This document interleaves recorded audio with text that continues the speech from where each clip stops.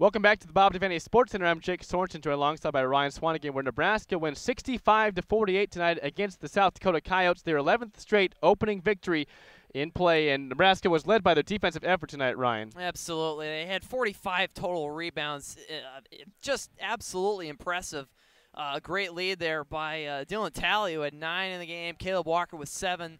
Uh, so definitely the Nebraska defense, basketball-wise tonight, did a great job overall. South Dakota held under 30% shooting last year. They scored 45% per game. Nebraska 76-68 victories last year. Nebraska had a much better effort again tonight.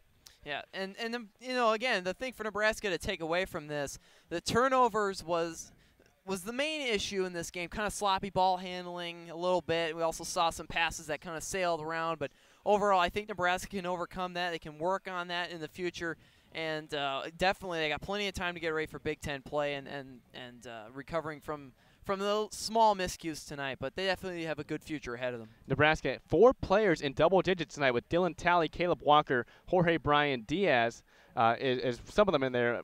Uh, thoughts on them? Yeah, they're definitely going to be a huge factor in the future. Again, as you said, Caleb Walker was 16. Jorge Brian Diaz, I expect him to probably have in some games this year probably over 20 points. It's going to be it's almost expected, and it's definitely going to happen for him. He's a really solid basketball player, and, and great things are definitely going to come from him in the future. Well, that'll do us for us from the Big uh, Bob Devaney Sports Center. Once again, your score 65-48 is Nebraska defeats South Dakota here. Thanks for watching BTN.com.